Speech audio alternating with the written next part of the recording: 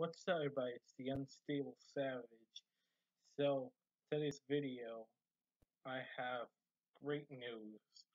And the bad news is, so the first news is, the bad news is, Mark Wahlberg responded to my request, but he denied it. He said no. But the good news is, he accepted my Waldo shoe t-shirt. And well, he's don't have the picture. I don't have the picture of it. I wish he would have just take a picture of it and meet him someday. And this is what I wrote him.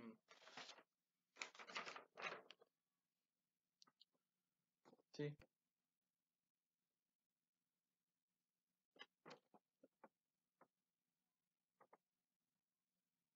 This is a picture I showed him. This is a copy of it. So today I have made first off Balloon Maniac toy I've made. Waldo Shoe versus Balloon Maniac movie is still in the works. But this is the action figure made out of a 3D printer of Balloon Maniac. This toy looks lit. This figurine looks dope. He looks a little bit messed up, but I painted him. I tried my best to paint him. Okay, move on.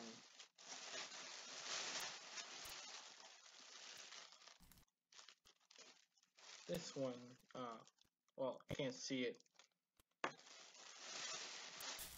I have made it.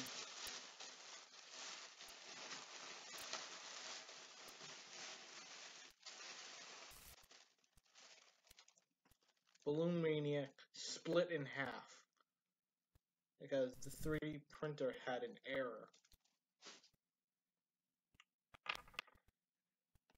Not must at least upside down police car. It glows too. Pretty cool, right? Straight out of here. LED lights still glows. So that's all for today.